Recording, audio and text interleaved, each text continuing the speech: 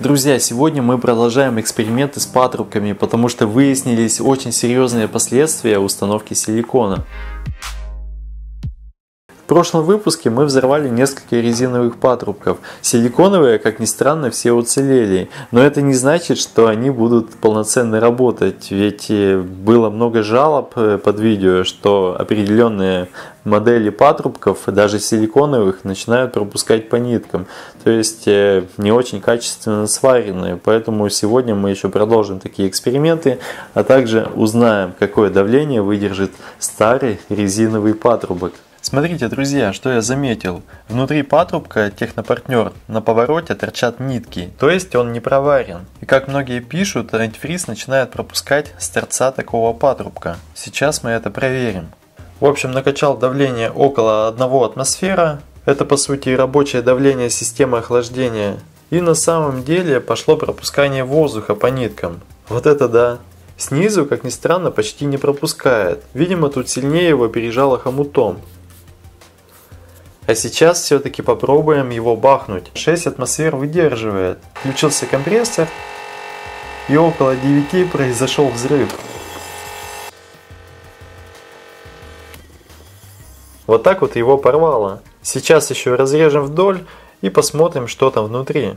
Как видите, тут реально есть заводской дефект. Из-за него и попадает воздух между слоев в торец патрубка. Как ни странно, порвало его немного в другом месте. Далее оранжево-синий китайский силикон. Внешне косяков особо не видно, кроме маленькой области с нитками. Также накачаем 1 атмосфер и проверим. Тут тоже четко видно, как он начал пропускать воздух по ниткам. Это недопустимо. Утечка жидкости вам обеспечена с такими патрубками. А теперь наш краш-тест. От давления он немного выпрямился. И на 6,5 атмосфер произошел разрыв.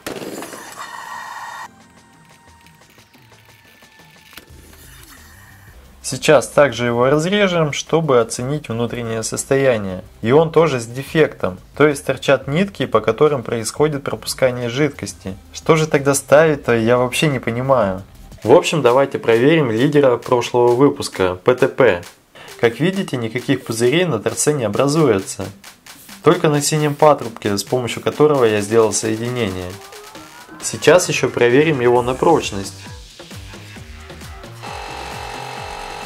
Вот это сильно, более 9 атмосфер, а ему хоть бы что. Неужели хоть один производитель сделал на совесть? Косяков внутри не обнаружено. Резиновые патрубки также далеко не все бывают качественные. Даже если внешне посмотреть, то очень как-то все подозрительно. Допустим, одна сторона тонкая, другая толстая. Интересно, какое давление он выдержит. Как и планировал, для более эффектного взрыва заполним его водой. Снимать будем на эту камеру в аквабоксе, которую я вам уже показывал. Ссылку на ее обзор оставлю под видео. Разрыв произошел где-то на 5,5.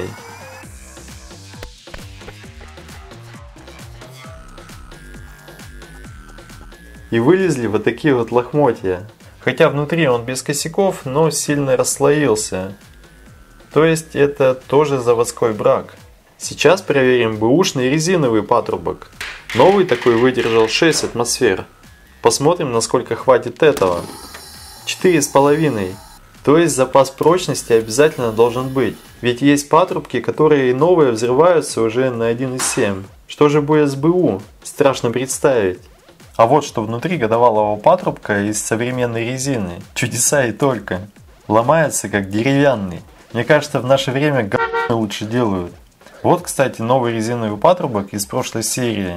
Он уже потрескался, хотя и на машину-то встать не успел. Такие вот дела. Срок службы силиконовых патрубков, как заявляет производитель, 30 лет. Это ж сколько тазов они переживут. В общем, если вы устали каждый сезон менять патрубки, то попробуйте хотя бы один раз поставить силиконовые. И возможно менять больше не придется. Ну, хотя смотря что вы поставите. Надеюсь, моя сегодняшняя информация была многим полезна, и вы будете более обдуманно обслуживать свой автомобиль. Ну а кому видео было интересно, ставьте палец вверх и подписывайтесь на канал, чтобы не пропустить новые выпуски. Спасибо за внимание и пока.